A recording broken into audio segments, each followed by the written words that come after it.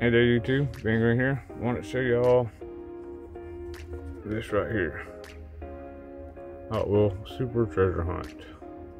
The Ford Escort RS2000 from the Factory Fresh series. Okay, yeah. Tail lights and license plate tampo.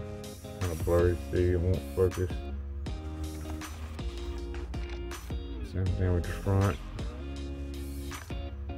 pretty green Spectra Flame rubber tires. Kind of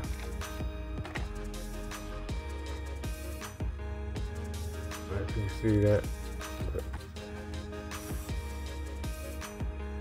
That's super treasure hunt. And what you think about it down in the comments below. Oh real quick it is from A case 2024 so, for those who want to know. So, tell me down what you think about it down in the comments below. If you found one or not, like them or not. Let me know. Please like, comment, subscribe. see y'all next time. Bye bye.